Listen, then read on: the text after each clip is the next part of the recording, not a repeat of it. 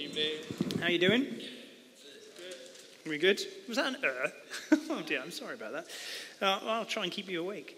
Um, do keep that passage open in front of you. 2 Timothy chapter 3. As Rick said, we are in the second of this little mini series we're doing called When Christians Disagree. And uh, if you have been uh, following the news at all uh, this week, you will know why it is we're doing a series like this one right now. Uh, the bishops of the Church of England issued a little bit of pastoral guidance around uh, equal marriage, same sex marriage, and uh, half the Church of England almost, it seems, decided to go absolutely ballistic in response to their advice. Um, but it's not just the wider church that occasionally has a disagreement or two.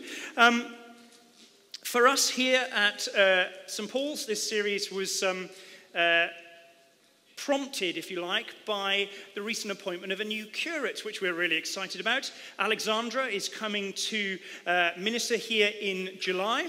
And we realized uh, as we considered this appointment that we hadn't really talked about the issue of women in leadership at all as a church. And uh, that's because uh, there are uh, so many things that we agree on that we tend to focus on those things. But actually, this was something that we realized that we, um, we didn't want to ignore. We wanted to intentionally kind of navigate and explore the different points of view that there are within the church. And, uh, and to recognize that our difference is a very good thing, something to celebrate. And, uh, and perhaps tonight you're sitting there and you're thinking, you know, I have no idea what I think at all about women in leadership. I've never given it a second thought. Uh, or maybe you're sitting there thinking, I cannot believe that we've decided to appoint a woman into leadership. What are they doing? Uh, or perhaps you're thinking, I can't believe they even had a conversation about it. Isn't that an obvious thing that should have been done years ago? Well, any of those positions, that's actually, it's okay because Christians disagree. So the question for us is, as, we, uh, as we're exploring together in this series, is when we disagree, how should we do it? Last week, uh, Rick looked at uh, when Christians disagree in the church, and he explored Philippians 2 and talked about uh, the importance of being like minded, that unity that we share in Christ by the Spirit, and, uh, and the need for humility to consider one another better than ourselves. This week, we're looking at when Christians disagree about the Bible, which is why we're looking at this passage from 2 Timothy. And of course, there are so many different approaches to the Bible, different ways of reading it, different interpretations difficult passages to get stuck on. Some of us will get stuck on this particular passage, others of us will get stuck on this particular passage. What are some of the ground rules that we can set for us as a community at SPS that can help us to have these disagreements and disagree well? And we're going to look this evening uh, at two parts. We're going to uh, look at what it means when we say the Bible is holy and what we mean when we say the Bible is inspired. And in each part, we'll have one truth, two virtues. And they'll come up on the screen behind me. But before we get there, uh, let me pray for us tonight. Father, uh, you're a God who speaks, and we love to hear your voice. And Lord, you have called us together as your people in this place. And uh, we don't always agree, um, but we learn together. We grow together as we wrestle with your word. And we pray tonight, Lord, speak to us uh, as, as your people, as your children, whom you love that we might be transformed by that experience. In Jesus' name, Amen. Amen. So, verse 15, Paul says to Timothy, You have known the Holy Scriptures. He's saying the Bible is holy. He's talking here about sacred writings. He, in essence, he means the Jewish scriptures, the Old Testament, but you see how he says they're summed up in Jesus. So, what he's saying here is the whole of Scripture, Old and New Testament, is holy. But what does it mean to say the Bible is holy? To say it's holy, he's saying that Scripture is set apart, it's sanctified by God. To be holy is to be set apart for a particular purpose, it's to be dedicated to God. It's saying that God uses this book that has been dedicated to him for his purposes. The Bible is exactly as God intended it to be. It's human writings, different types of writings written at different times, but God employs it, He puts it to work. And, Paul wants us to understand, it does its job. It's effective. Look at verse 15. It makes you wise for salvation. The Bible is holy. So, what? What does that mean in practice? One truth, two virtues. Firstly, the truth. It means the Bible is clear. You see, God uses the Bible to speak to us. Now, that might be obvious to you, it might not. God reveals himself in Jesus. God reveals Jesus to us through the scriptures, and that means that God reveals himself to us through the scriptures. So we meet God in the pages of the Bible. God reveals himself to us through Scripture. And God doesn't need an expert, a translator, as he reveals himself to us. So the Bible can be understood by everyone. Look at verse 17. All God's people.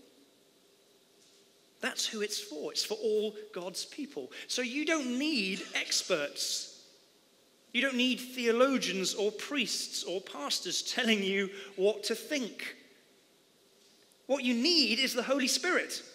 All of us, we all need the Holy Spirit. It is the Holy Spirit who illuminates the page, who helps us make sense of what the Bible is saying, helps us to understand Scripture.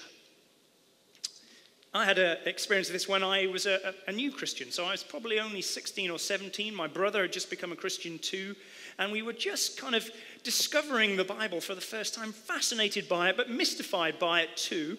And uh, I remember we uh, were working our way through uh, probably the most complex book of the Bible, which was the book of Romans, written by Paul. And we wanted to get a sense of what it was he was saying. And we had found ourselves in perhaps the, the longest, most complex section of that book, which is uh, Romans chapters 9 to 11. It's really one whole argument.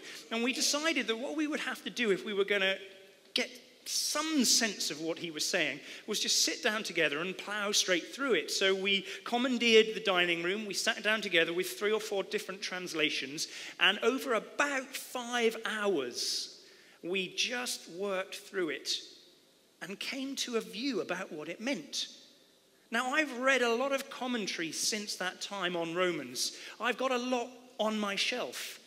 I still think we were pretty much there with our particular interpretation of that passage because we, he was clear.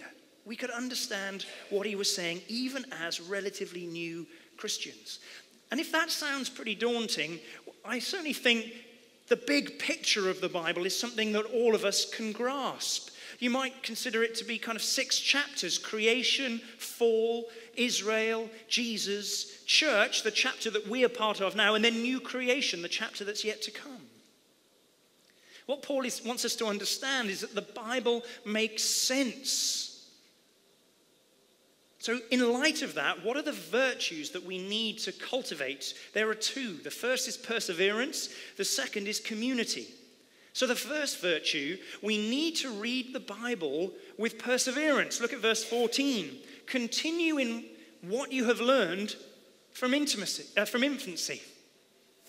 Paul is saying to Timothy here look, uh, in order to understand this Bible, it's possible, but in order to understand it, you've got to study it, and it's a process of lifelong learning. But it's worth it. It's something you can do. It's not a code, it's not mysterious. You don't need a key to get in to unlock it. Actually, you can use your common sense and understand it in a straightforward, plain way. It's what the theologians call the plain meaning or the literal meaning of the text. So, John Wesley said this it's a stated rule in interpreting never depart from the plain literal sense unless it implies absurdity. That's a good rule. There's not a special code that we need to unpack or decipher. We can read it as it is and it can speak to us because it's clear. But just because it's clear doesn't mean that process is easy. Understanding the Bible is hard work. We have to be honest about that. It takes time, it takes effort. There are really no shortcuts. But we're not alone in that. That's the good news. So, right from the very beginning, writers, um, readers have found it challenging to understand the Bible. So, Peter himself, uh, the first um, leader of the early church, found it difficult to understand Paul. So, if you look at his second letter, 2 Peter chapter 3, verse 16, he says, Paul's letters contain some things that are hard to understand. So, if you think that, I do, we're in good company because Peter thought it too. So, what are some practical ways that, we, that might help us work through those bits that seem to be less clear, more difficult to understand than others? Well, I would say don't move too quickly to outside sources, books about the Bible. Begin by uh, looking at other parts of Scripture that are perhaps clearer, that shed light on those bits that are a little bit more challenging. Allow Scripture to interpret Scripture. Use the clear verse to help interpret the more difficult verse. And work at it. That's what Paul encourages Timothy to do. Uh, earlier in his second letter, chapter 2, verse 15, he says, Present yourself to God as one approved who correctly handles the word of truth. So make the effort. Be patient with it when it gets difficult, when you feel like you've got stuck. Keep going. Try again. Ask for help. There's lots of resources that we can point you to. So that's the first virtue persevere. Read it with perseverance. The second virtue is read it together, read it in community. Look at verse 14 again. You know those from whom you learned it. We read the Bible together.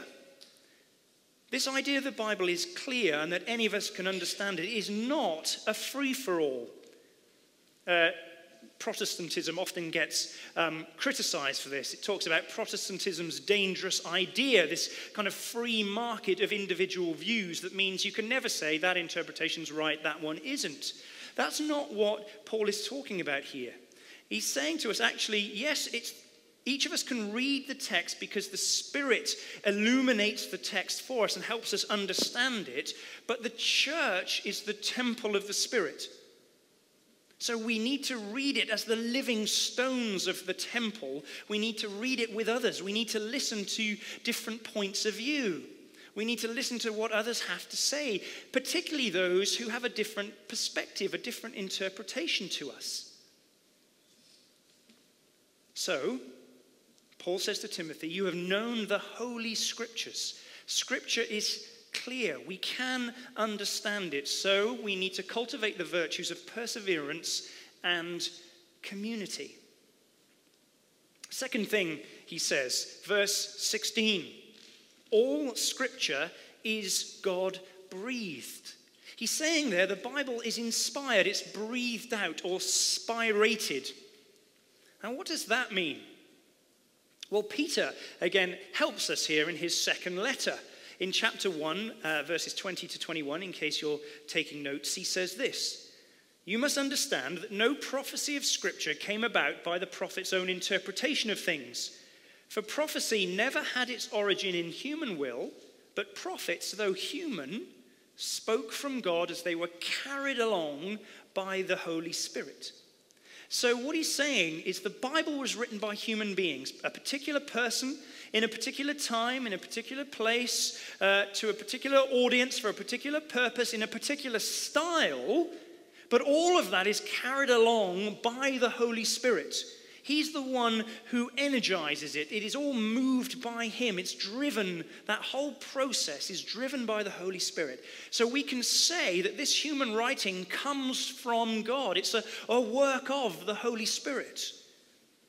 And because it is inspired, we can say with confidence the Bible is revelation. The Bible is the Word of God, which is exactly what Paul calls it in this reading that we're looking at tonight when he says to Timothy in chapter 4, verse 2, preach the word. He's saying, preach, preach the gospel, preach the Bible. So scripture is God breathed. So what? What's the truth and the virtues that come out of that? Well, the truth is this the Bible has authority. God exercises his authority through the Bible. Now, authority isn't a word we like very much in our culture, is it? Um, but here he's not talking about uh, power or organization or control. This is not a, a mandate for the thought police, the, the theological policemen that have got a long list that you need to tick off to make sure you're reading the Bible rightly. No. God exercises his authority in judgment. He condemns sin and evil and injustice and liberates humanity to be fully human, fully alive. That's what his authority is all about. So look at uh, 3 verse 16 in this letter, second letter to Timothy. All scripture is God breathed and is useful for teaching, rebuking, correcting, and training in righteousness. Not in right understanding, but in righteousness, so that all God's people may be thoroughly equipped to pass the comprehension test No. to be able to say, I scored 99 out of 100 Bible answer questions? questions? No. He's saying, equipped for every good work. Yeah, so God's authority, it's not oppressive, it is liberating. It's about uh, freedom, it's about human flourishing, our potential, the fullness of life. So the Bible has authority, and that's a good thing. But what virtues do we need to cultivate in response to that authority? Well, I think there are two courage and humility. So, the first virtue, we need to read the Bible with courage. And that means we need to be courageous enough to wrestle with the difficult texts, what some theologians call texts of terror. We need to tackle them head on. And I haven't always done this.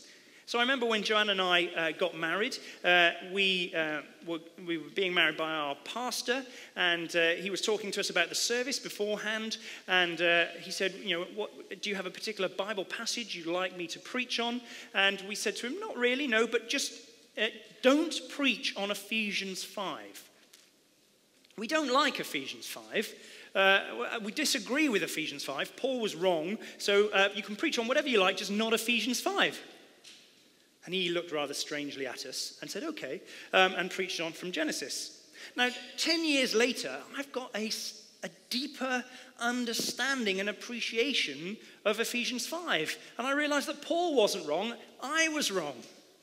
And so, actually, I've preached on Ephesians 5 at Christ Church. I preached on Ephesians 5 here. I've preached on Ephesians 5 at somebody's wedding.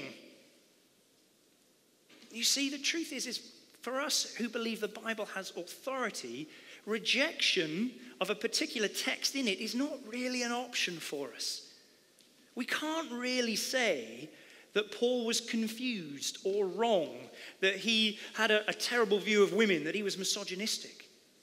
Neither can we really pretend that these texts are not in the Bible because they're there. We have to deal with it as it is. We might wish they weren't there, but they, there they are. So we, we can't really pick and choose. We can't ignore passages of Scripture. Paul here says to Timothy, all Scripture is useful, it's profitable for all of us, for the church across the ages, even if it's not clear to us today, right now, how that could possibly be. So we need courage to wrestle with these difficult texts. We need courage to challenge different interpretations. So Paul charges Timothy preach the word. He says, in effect, if you disagree with what you're hearing, say so. Challenge them, preach the word, be prepared in season and out of season, correct, rebuke, and encourage, but do it with great patience and careful instruction. So if you disagree, that's okay. Say so. Rebuke, correct, encourage, but do it carefully. Think the best of the person that you are in disagreement with. Don't stereotype them, don't caricature them, don't demonize them. So I'm very happy to confess to you tonight that I am a feminist. Yeah? And I'm a feminist because of the Bible.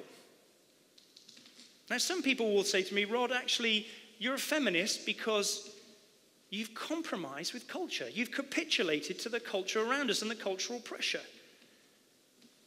And I just ask us as we have this conversation to say, actually, I'm going to respect Rod's claim that he's a feminist because he believes the Bible, even if I might disagree with that. Does that make sense? So if somebody else is a complementarian or whatever they might be, it's incumbent upon me not to think, well, they're just sexist. Actually, they're just trying to be faithful to the same Bible that I'm trying to be faithful to, but we come to different conclusions. And it takes courage to recognize that. So that's the first virtue. The second virtue, we need to read it with humility. Why? Well, because we are all different different genders, ethnicities, cultures, histories, education, experiences. All of those things shape what we bring to the text as readers. Now, I am a father of two daughters. That has sharpened my passion about the issue of women in leadership. And I need to be honest about that.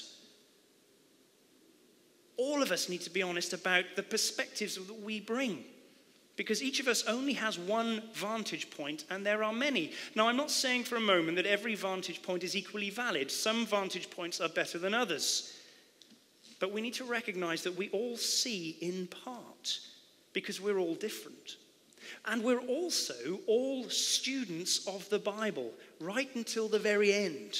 We never graduate from Bible college in, that sense. We are all still learning and we can all get it very wrong. And we need to be able to acknowledge that.